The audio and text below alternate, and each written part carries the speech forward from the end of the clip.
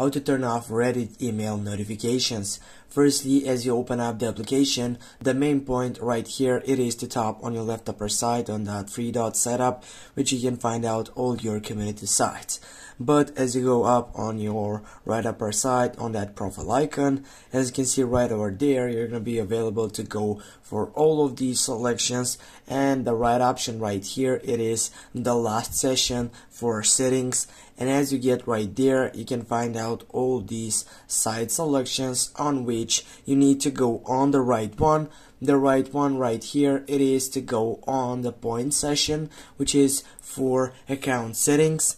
as you can see right here if you go for example on general and take off account settings you're gonna find out all these site selections including your email notificationable setup which will be by going to your email address or simply